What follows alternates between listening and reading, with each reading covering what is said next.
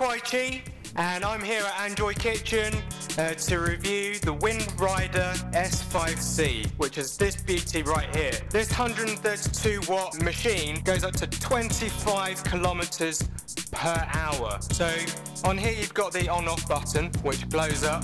But on the other side, you've got your charging port. It just takes a normal three port charger that allows you uh, in about half an hour to charge us up from flat to full.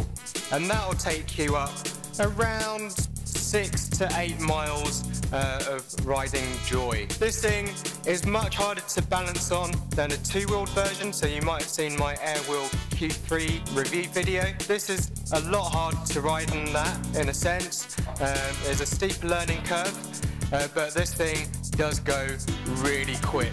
To step on is very much the same as the two-wheel version. Basically, you just put one foot on and then you step on with the other side. With a one-wheel machine, you pretty much need to get moving pretty quick, otherwise you will fall off.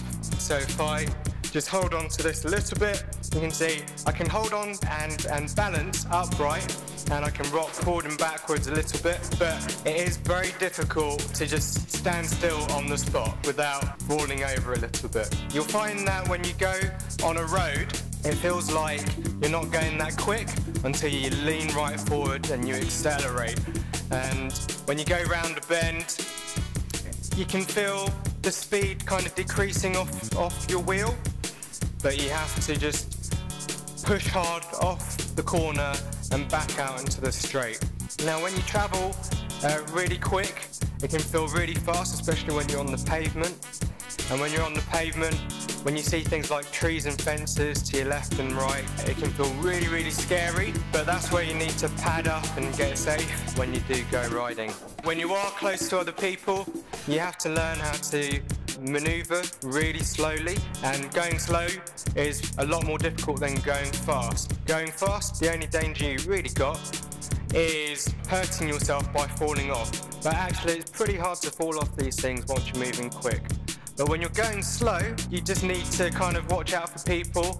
And once you've got your core balance really nice and tight, it's actually okay. One great thing about this is that it really works the core. So if you're looking to trim down a little bit, uh, anyone who's watched one of my old videos can see I used to be a lot more porky. Well, this machine really helps cut down the flab. This machine itself sold by Asia e-bike and they sell this unit currently uh, under $400, under 400 US dollars, and then you pay shipping on top of that and customs charge uh, if you're not in Malaysia. It's quick enough for me and it's very light. It weighs 9.8 kilos. Uh, this is easily enough for me to comfortably walk on and off a train, walk down a platform and outside. So this machine, I give it a 9 out of 10.